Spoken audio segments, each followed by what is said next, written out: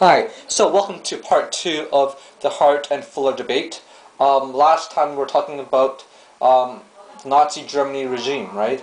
So, um, if we dismiss the idea that any immoral law as not being law, it opens up a whole new world um, of where the um, principle will serve to clock the true nature of the problems with which we are faced. Second, this will also make the woman accountable for any crimes committed in the past.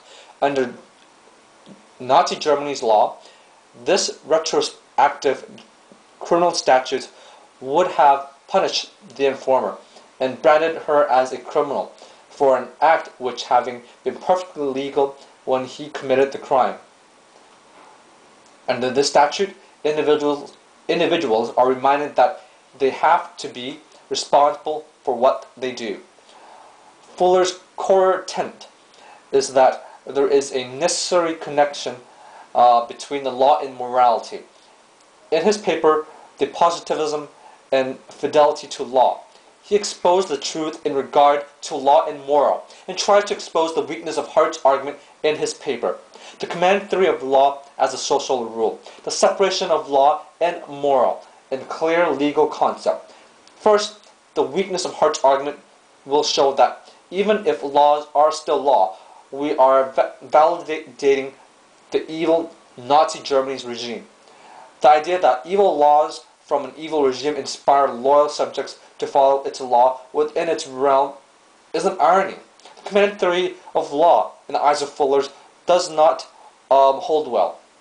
Fuller mentioned that the respect we owe to human law must be something different from the uh, respect we accord to the law of gravitation.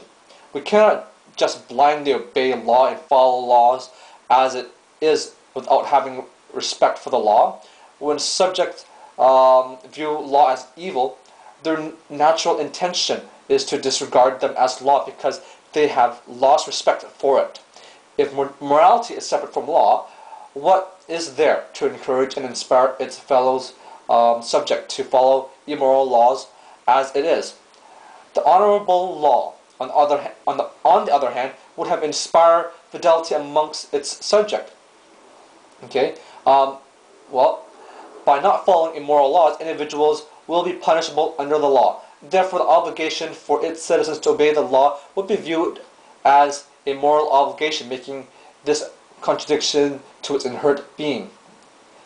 The decision to disobey them, Nazi laws, right, uh, presented not a mere question of uh, prudence or courage, but a genuine moral dilemma in which the idea of fidelity to law had to be sacrificed in favor for a more fundamental goal.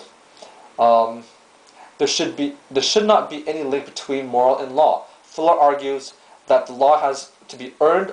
Um, the law has to earn our trust and respect. Okay, Fuller believes that in the case of Nazi informer and her husband's justice was served. He does agree with Hart about the retrospective criminal legislation, but he disagrees with Hart in the, the view of Nazi law being legitimate. He explains that the law of Nazi Germany was so evil that how can they be law? And the, the legal positivism theory, um, I mean, it forces individuals to choose between the moral duty and the duty to obey law legal positivism view that no matter how evil the law is, the woman should obey it, for it is the law of the land. Fuller would argue, on the contrary, she should not have obeyed, uh, be obliged to follow any immoral rules from the evil regime. There was no respect for immoral laws, and thus there should not be any reason for anyone to follow such a law. On the other hand, Fuller thought that there should be a merge um, a merger of law and morality so that individuals are not forced to choose between moral duty and the duty to obey law. All right, the um, the legalistic system, in Fuller's opinion, is flawed in a hard decision of um, Gustav Radbruch in the Nazi Germany regime. Okay, um, Hart argues that Nazi law should be obeyed not because it is moral, but because it is law. However, there were a number of secret laws being passed by the German legislature which are viewed as immoral. For instance, there was a um, report from the uh, that revealed a secret legislation to permit the wholesaling, the wholesale killing of concentration camps. Okay, Fuller accounts to the legal morality of these secret legislation. If these legislations are not known, thus the subject will have no real moral obligation to follow the law, um, which they have never heard of. In Hart's agree- argument of having laws in the core settled meaning, these secret legislation would not be in the core, but in the penumbra. These secret legislations are in the penumbra. Um, they, if these uh, secret legislations are in the penumbra, they will be a series. There will be a series of laws that are unclear. Under Hart's ideal system, it is supposed to keep order, but it's not supposed to inspire um, people to be good. The question arises: How a government can keep order when law, as it's produced in the penumbra in the secret legislation? Another area where Hart fails to separate um, law and moral is um, is the coherent structure of the legal system. Hart's main point of the argument is that the legal system is to keep rules in order in our society, so that we might be um, be able to survive in the close proximity of our fellow humans. Fuller goes further and suggests that a legal system need to uh, inherit mor- morality.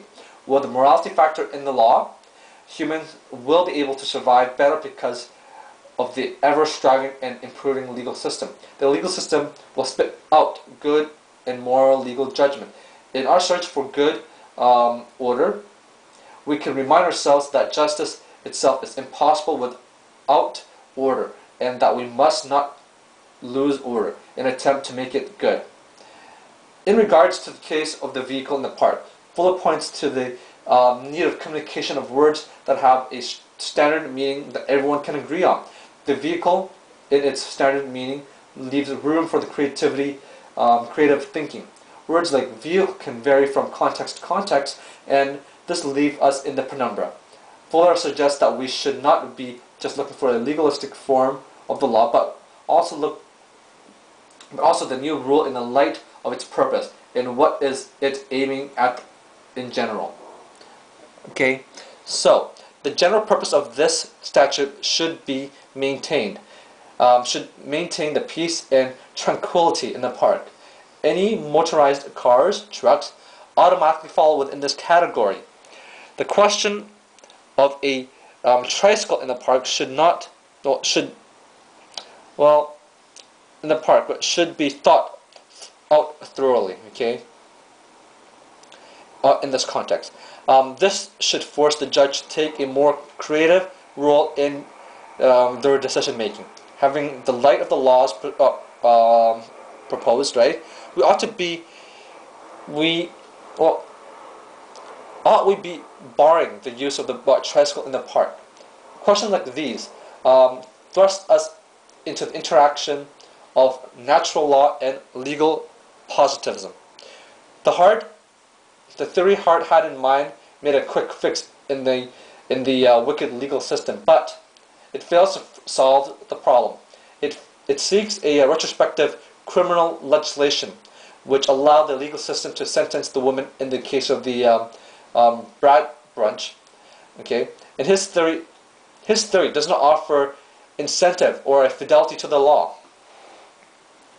Um, with Fuller's theory, there is a fidelity and incentive to follow the moral laws, okay, because it will produce good society which will preserve their survival. The law in the Hart's world of legalistic system without a moral will set the stage for another Nazi regime.